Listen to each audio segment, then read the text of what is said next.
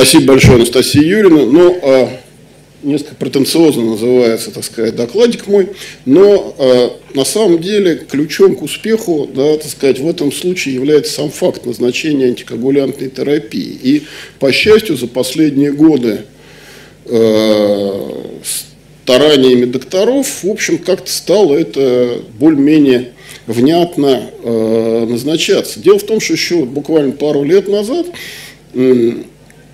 ну, как оценить, назначают вот врачи антикоагулянты или нет? Мне пришла в голову довольно простая идея. У нас большой хирургический стационар, и, естественно, туда попадают люди со всякого рода кровотечениями, да, желудочно-кишечными, так сказать, прочее. Я спросил, сколько у них кровотечений на фоне антикоагулянтов. Они поморщились и сказали, что было два. Да, одно было на варфарине, но при этом с нормальным НО, и одно было на одном из новых антикоагулянтов.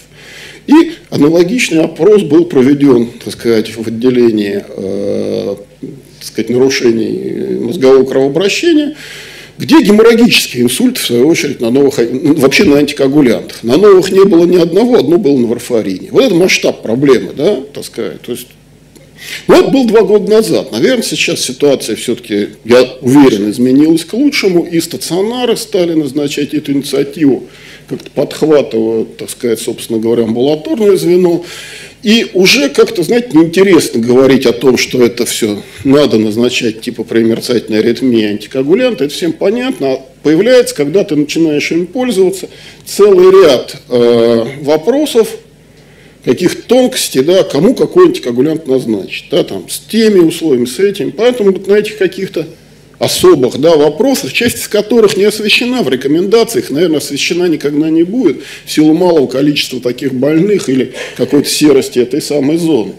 Ну, понятно, что антикоагулянты, они не одинаковые. Да? Ну, мало того, что два из них это ингибиторы 10 активированного фактора, один ингибитор тромбина, э, даже в таком раскладе, да, они совершенно в разных по дизайну исследованиях были исследованы. И продемонстрировали, в общем, различное влияние на прогноз у различных категорий больных. Да? Если говорить о преимуществах по отношению к варфарину с точки зрения предупреждения инсульта или системной эмболии, то это апексабан и добегатрон в дозе 150 мг два раза в сутки. Да? Если мы говорим о том, что это снижение смертности, да, то это только апексабан да, другие не продемонстрировали. Но все новые антикоагулянты продемонстрировали тот великолепный результат, что на них меньше, чем на варфарине, внутричерепных кровоизлияний. То есть, чего мы боимся более всего, когда назначаем этот препарат.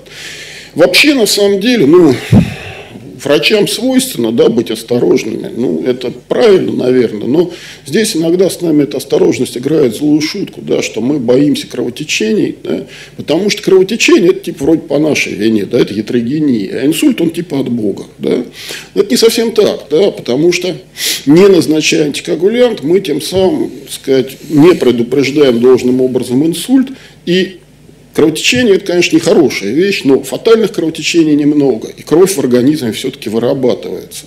А инсульт – это всегда потеря какого-то кусочка, так сказать, ума, иногда довольно большого кусочка, и, так сказать, не всегда эта штука обратима. Поэтому, если мы говорим про инсульт, да, то ну, большой достаточно метаанализ, все э, взять, если новые антикоагулянты, вы видите, что они э, лучше варфарина, да, так сказать, с точки зрения предупреждения инсультов и системных эмболий, достоверно лучше. Если по вторичным показателям эффективности, то вот главный момент, да, вы видите, э, на 50% снижается относительный риск инсульта на новых антикоагулянтах. И, в общем-то, да, так сказать, это нашло свое отражение вот здесь. Да достоверно ниже смертность у новых антикоагулянтов, чем у варфарин. Если же взять частоту кровотечений, то здесь это, собственно говоря, э, достоверности не достигнут, но некоторые антикоагулянты, в частности апексабан, выглядят привлекательнее варфарина с этой точки зрения, с частоты больших кровотечений. Ну, э, так сказать, когда же вот больной у нас с вами поступает с инсультом, никаких он антикоагулянтов доселе не получал, э, и у него фибрилляция предсердия, мы понимаем, что необходимо их назначить. Сразу скажу, что назначение антикоагулянтов для уменьшения неврологического дефицита вот текущего инсульта, оно не показано. Уже все. Да, ничем вы тут, к сожалению, не поможете. И назначаете вы их с единственной целью – предупредить повторный инсульт. Не более того. Ну, э, есть такой немецкий невролог Динер, который, значит, сначала придумал вот эту вот схему, да, ну, чисто эмпирически, умозрительно. Никто там не делил их там, да, вот там на три большие группы, ни Динер, никто бы то ни было еще. Это исключительно, как говорил в школе наша учительница математики, математики так договорились. Ну, раньше это называлось правило Динера, теперь это возвели, называется закон Динера. Ну, дальше, наверное, будет еще какое-нибудь супер название. Но сам факт достаточно такой, да, легкий. Если это транзиторная ишемическая атака, то тогда можете сразу назначить антикоагулянты. Если у вас легкий инсульт, то есть по скале NIH, FF менее 8 баллов, да, или небольшой очаг, сказать, то после трех дней. А средне-тяжелый тяжелый инсульт уже требует нейровизуализации для исключения геморрагической трансформации. Да? То есть это 8-16 более 16 баллов. Если у нас нет геморрагической трансформации, да, по данным нейровизуализирующих методов, тогда после 6 дней среднетяжелого инсульта или после 12 дней инсульта достаточно тяжелого. Вы спросите, что делать, если, так сказать, есть геморрагическая трансформация? А тогда надо поступать как с геморрагическим инсультом. Да? То есть мы с вами должны так сказать, сказать, что на сегодняшний день, то есть в течение ближайшего месяца назначить мы с вами антикоагулянты не в силах. Как бы нам этого сделать не хотелось. И э, если нам говорить про геморрагический, да, так сказать, инсульт, то тогда, собственно, если он происходит на фоне антикоагулянтов, понятно, что мы их отменяем, да, и, к сожалению, ну, есть антидот к добегатрану, да, но, э, например, ну, да, взять наш стационар, да, ну, или там вот ваш стационар. Ну, невыгодно держать антидот добегатран при таком назначении, при такой частоте назначения добегатрана. Он очень дорог. И, ну, я говорю, а если у тебя случается там одно кровотечение раз в два года, ну, ну зачем нужно? То есть, не по карману, что называется. Если бы это было хотя бы 5-7 случаев в год, тогда это уже оправдано. Все-таки идет речь о серьезных вещах, да, о тяжелых кровотечениях и так далее, или о геморрагических инсультах. Ну, будет шириться назначение, да, так сказать, будем делать. К сожалению, к ингибиторам 10 активированного фактора антидота нет, хотя вроде одно время о них громко говорили, и, так сказать, вроде как-то это самое FDA там дал им зеленый свет, но что-то пока не видать появится, будет здорово. Э, таким образом, так сказать, у нас получается как, что нормализация коагуляции это до 4 суток, а вот восстановление целостности сосудистой стенки это до 30 дней. Отсюда и, собственно говоря, вывод, что назначать те самые антикоагулянты э, стоит именно после 30-дневного срока. Сразу скажу, что ни в одном из исследований да, с новыми антикоагулянтами, никаких геморрагических инсультов не было и близко. Да, то есть это был страшный критерий исключения. То есть все говорили, как же, как же. С одной стороны, конечно, это снижает риск тромбоэмболических осложнений в 9 раз, но повышает риск повторного геморража в 5. Честно говоря, э, выбор так себе. Да? И, конечно, если у вас руки чешутся предупреждать инсульт у таких больных, э, есть у нас оклюдеры ушка левого предсердия. Рассмотрите всерьез эту возможность. В городе Москве это можно найти. Да. Есть больные, которым это прям вот необходимо, да, так сказать, и только так. Конечно, по прошествии месяца, да, особенно, особенно, да, если мы с вами понимаем, от чего случился геморрагический инсульт. Если это была аневризма, ее клипировали, ну, это один вариант, да, а если вы не понимаете, что случился геморрагический инсульт, это совсем другой вариант. Если это случилось на фоне неконтролируемой артериальной гипертензии, да, ну, вы скажете, ну, давайте мы будем его контролировать и тем самым значительно снизим риск повтора. Да. Ну, то есть, это... Э, на самом деле, частота внутричерепных кровотечений на фоне практически всех новых антикоагулянтов, да, сказать, не практически на всех, она достоверно ниже, чем на варфарине. И если уж нам с вами выбирать, то это будет новый антикоагулянт. Э, наверное, нельзя сравнивать их между собой. Это разные исследования, разные категории пациентов. Тут можно говорить только о каком-то, наверное, знаете, типа класс-эффекте. То есть все они, так сказать, лучше с этой точки зрения, нежели чем э, варфарин. Еще такой момент интересный, что был такое национальное датское когортное исследование, где, собственно, пациенты с внутричерепным кровоизлиянием и фибрилляцией предсердия. И три группы было, да, без лечения на пероральных антикоагулянтах и на антитромбоцитарной терапии, которая традиционно считается типа такая, ну, безопасная. У нас аспирином по телевизору рекламируют, да, так сказать, безобразие, конечно. Ну, такой витамин для крови, вот. Так вот, посмотрите, что получилось, что ишемические инсульты, эмболии и смерть от всех причин, самый низкий результат был на фоне терапии оральными антикоагулянтами. А не на фоне антитромбоцитарной терапии разницы не было. То есть все равно, что ничего не принимать. К сожалению, э, в отношении инсультов и эмболий аспирин при всей нашей к нему любви неэффективен. Да, по причине абсолютно иных механизмов да, тромбообразования этих больных. И снижалась общая смертность. То есть все-таки, все-таки в определенной, тщательно отобранной группе больных назначать после геморрагического инсульта антикоагулянты можно. Это не повод для того, чтобы от них полностью отказываться. Хроническая болезнь почек. Ну, так сказать, таких больных не из числа, да, как бы говоря. И, естественно, э, наличие почечной недостаточности в той или иной степени выраженности довольно сильно влияет на риск кровотечения и, что самое интересное, на риск инсульта. Вы видите, что у больных с фибрилляцией предсердия, да, и то, и другие события возрастают, в общем, кратно в разы. Отсюда и, собственно, призыв составителей рекомендаций по фибрилляции предсердия измерять функцию почек на основании, значит, креатинин сыворотки или клиренс, там, так сказать, креатинина. Сейчас нет проблем посчитать, так сказать, там, по любой формулы вашей, да, так сказать, в помощь там, смартфона или там, в интернете и так далее. Я хочу только предостеречь вас от следующего. Да. Надо понимать, что все формулы эти эмпирические. А, о чем мы часто забываем. И, например, формула, да, так сказать, Кокрофта Голта, использующая массу пациента. Вот если у пациента нет ноги, а ее нельзя использовать. Ну или вы должны как-то ввести поправку на тему, сколько весит оставшаяся нога, да, так сказать. Это такой момент. И еще, например, да, вот у вас есть, например, скорость клубочковой фильтрации, вы радостно посчитали, получилось типа 30. А вы знаете, что по инструкции некоторые антикоагулянты нельзя назначать при СКФ ниже 30. И вашему больному сегодня 75, а завтра исполняете 76. Ну, вы же понимаете, что со свистом и грохотом его скорость клубочка фильтрации завтра не упадет. Ну, это понятно, да?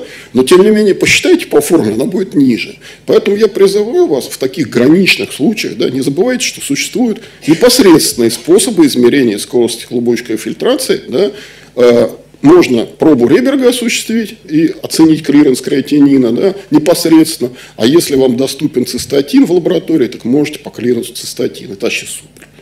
То есть, на самом деле, это эмпирическая штука, и она хорошо работает в середине диапазона. Да? У людей среднего возраста, да, кто там включал? Кокрофт с Голтом, что ли, людей 95 лет? Так сказать, нет. Работает ли эта формула в 95 лет? Неизвестно. Работает ли она у людей весом 45 килограмм? Неизвестно. Эмпирическая. Поэтому будьте с ней тоже, как бы говоря, осторожны. Оценивать ее надо обязательно.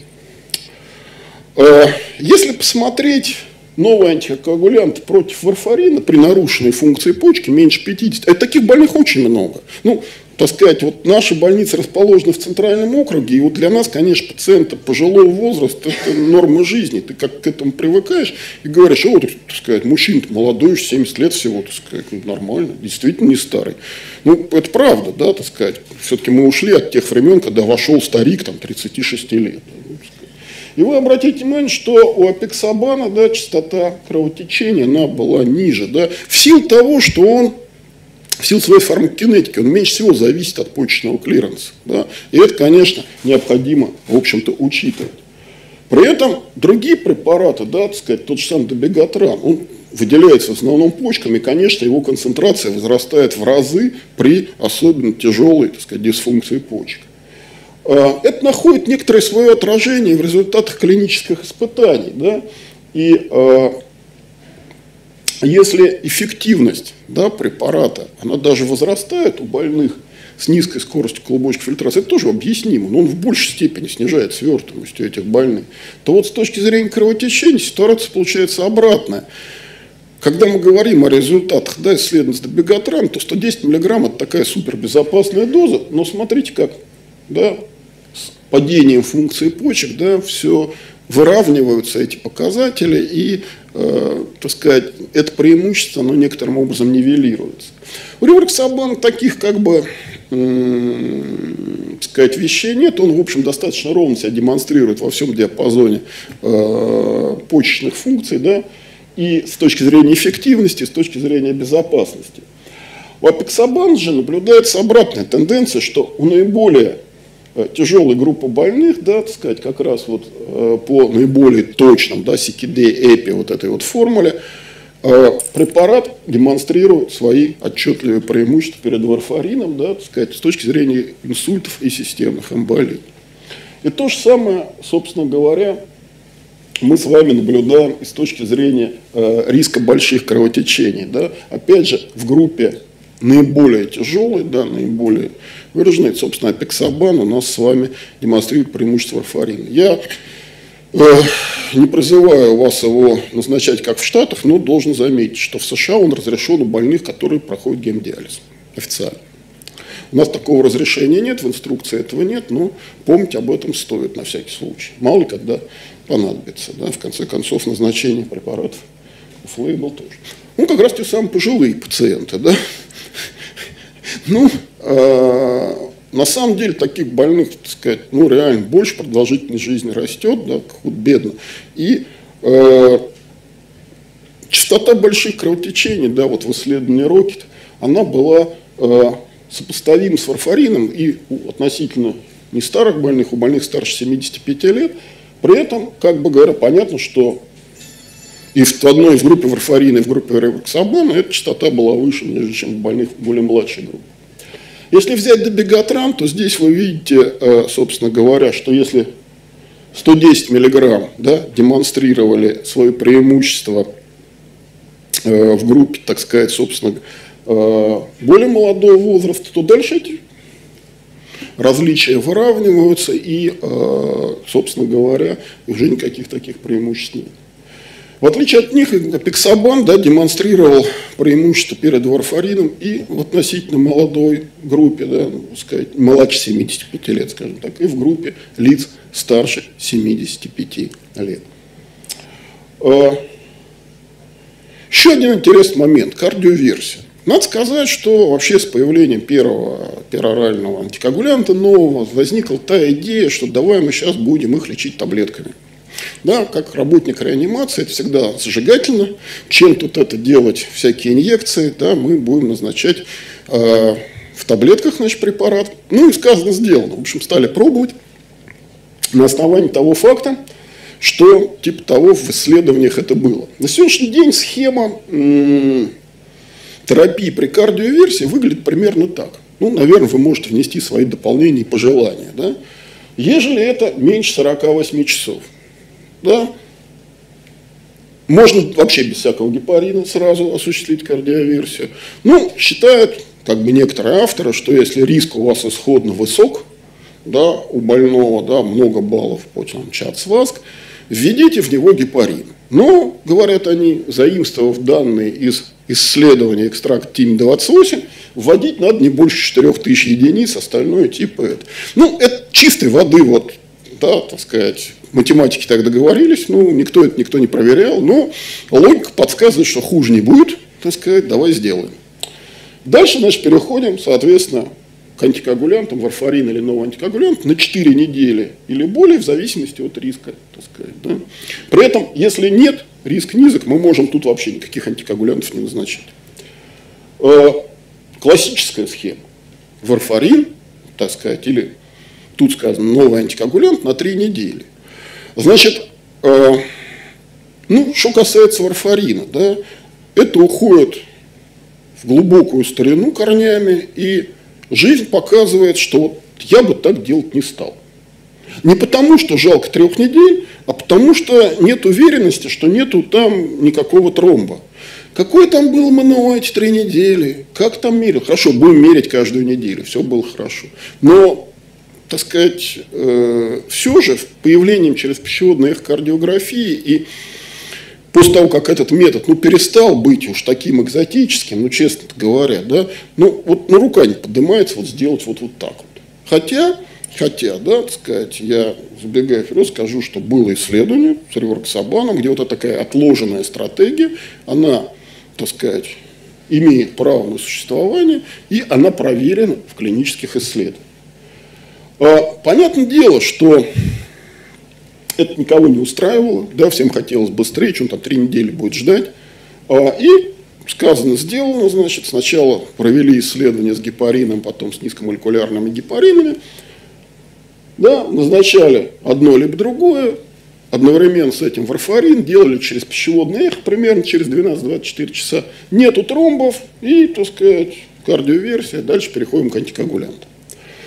Ну и с появлением новых препаратов, естественно, встал, так сказать, э, со всей остротой вопроса, давайте мы вот заменим вот это все на наши новые прекрасные препараты.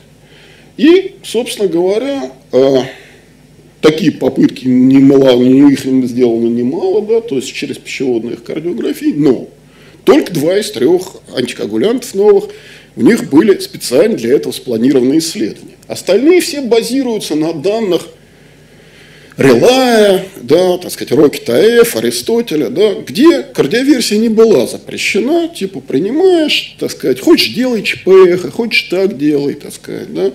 Ну, в общем, делали делали, и, как бы говоря, совершенно, так сказать, нормально. Результат, как вы видите, прекрасный. Да? Нет разницы между э, варфарином и так далее. Но все-таки это не специально спланированное исследование. Теперь такое исследование, которое спланировали, это было исследование XVERT с ривароксабаном. Да? Они разделили их пополам, да, сказать, ранняя отсроченная стратегия. Ну, отсроченная это там как раз где на три недели. Да? Ну, опять же говоря, на мой взгляд, ну, наверное, это тоже имеет право, да, сказать, она проверена, и было показано, да, вот, так сказать, и ранее, и. И, сказать, не было разницы с точки зрения э, инсультов там, да, системных эмболий, кумулятивной точки безопасности не различалось.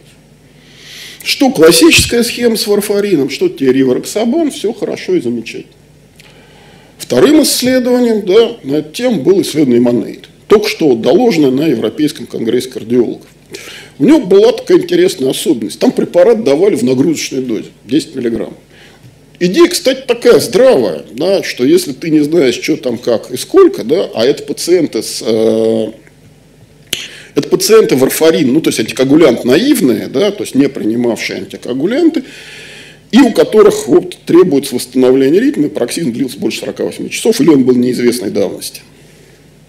Давали нагрузочную дозу. Это, кстати, такая вполне разумная вещь. И дальше две группы. Да, одна получила апексабан 5 мг два раза в день, либо давали части больных редуцированную дозу, а редуцированную давали тем, как в Аристотеле.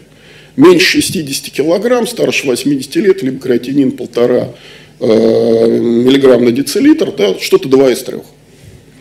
Э, и, собственно говоря, срок наблюдения, да, 30 дней, вот такой вот результат. Вы видите, что в группе Апексабана не произошло ни одного события.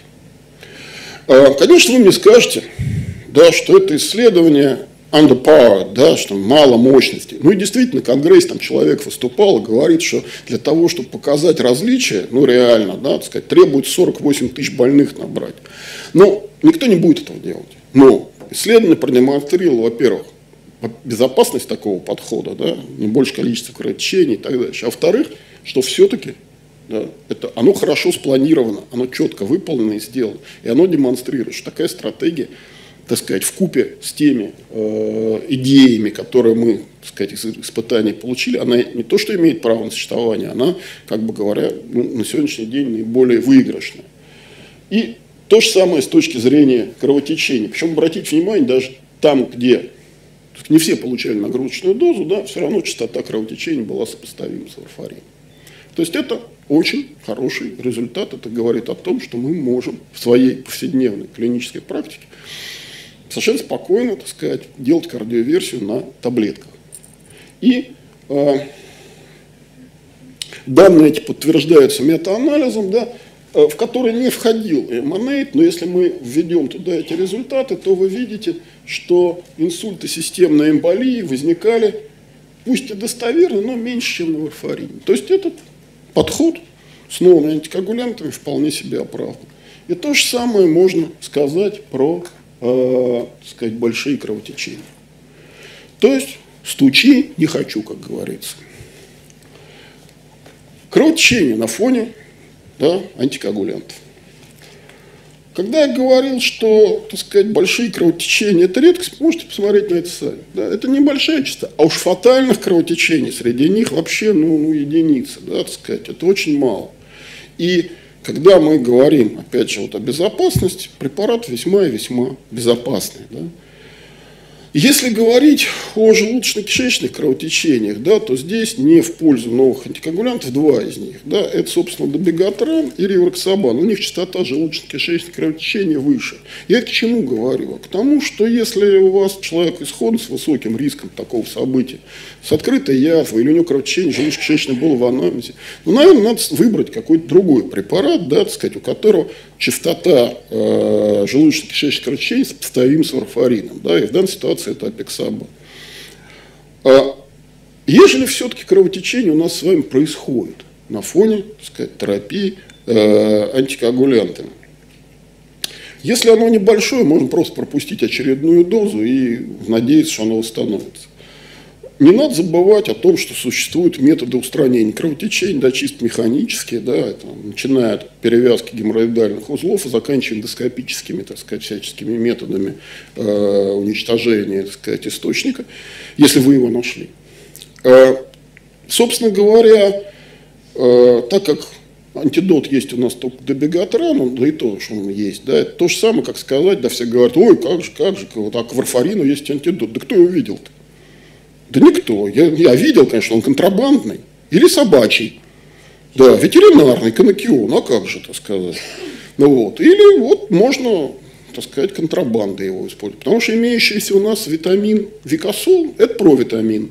Он пока в организме преобразуется, да еще как он там преобразуется, сто лет пройдет, то есть он нам не подходит. Да, а что нам подходит, да, из этого дела? Правильно, да, свежезамороженная плазма. О, 15 миллилитров на килограмм массы тела так сказать, тех же щей да поживлеет называется. Вот. Ну, на самом деле к варфарину есть реально работающий концентрат факторов протромбинного комплекса. Это, конечно, дорого, но это работает. Да, так сказать, прям прекрасно устраняет так сказать, все его эффекты, особенно если несколько этих доз вольешь. С новыми антикоагулянтами это работает похуже. Хотя есть работы, где пытались восстановить свертываемость крови с помощью да, седьмого активированного фактора, да, известного у нас под именем Nova-7. Ну, предложение хорошее, но не дешевое, прям скажем. В отношении добегатрана, который выводится, так сказать, почками, предложено, например, использовать гемодиализ. Тоже предложение хорошее, но ну, не очень. Да, так сказать, когда у вас больной кровит, а вы тут с гемодиализом еще. То есть, на самом деле, на самом деле, да, по большому счету, спасает только то, что тяжелых, да, жизнеугрожающих кровотечений их немного. Все остальные, в общем, лечатся да, ну, традиционными методами, восполнением объема циркулирующей крови, да, попытками там, сказать, хирургической коррекции да, источника кровотечения, если это э, необходимо, да, или же, так сказать, соответственно, эндоскопическими какими-то прочими методами. Э, и еще раз все-таки, как бы говоря, да, призываю, да, что кровотечение – это менее страшная вещь, чем инсульт. И, знаете, ну, до прихода вот в этот сосудистый центр, да, это как-то от тебя все далеко. А когда ты вот ходишь, и вот все говорят, 25% фибрилляции предсердия. Вот по моим наблюдениям, каждый третий больной с инсультом имеет фибрилляцию предсердия. И вот они лежат, и ты думаешь, а всего-то надо было на таблетку назначить, да?